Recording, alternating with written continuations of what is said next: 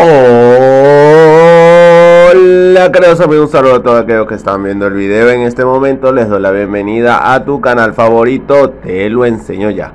En este video te daré varias soluciones para cuando no te sale avatar en Facebook O no me sale avatar en Facebook o no me aparece el avatar en Facebook de una manera muy rápida y sencilla, así que te invito a quedarte a ver todo el video. La primera posible solución es que hagamos lo siguiente. Vamos a ir a ajustes y luego este nos vamos a una opción que dice aplicaciones.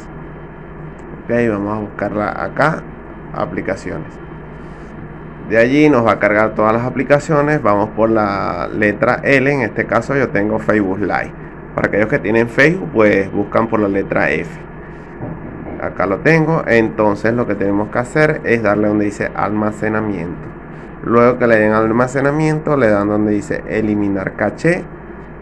Y luego de ello este vamos a la aplicación y observamos para ver si ya nos aparece el avatar. Si no te llega a funcionar de esta manera muchas veces aunque parezca increíble si nosotros llegamos a reiniciar nuestro teléfono celular pues podemos solucionar este error de cuando no te aparece el avatar en Facebook. Si no te llega a funcionar de esa manera yo les recomiendo ir acá a ajustes.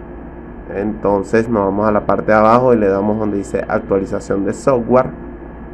Cuando estemos allí pues lo que vamos a hacer es darle donde dice descargar e instalar.